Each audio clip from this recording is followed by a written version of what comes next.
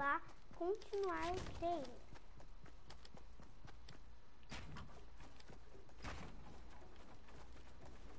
Mas antes de eu continuar, deixa o like.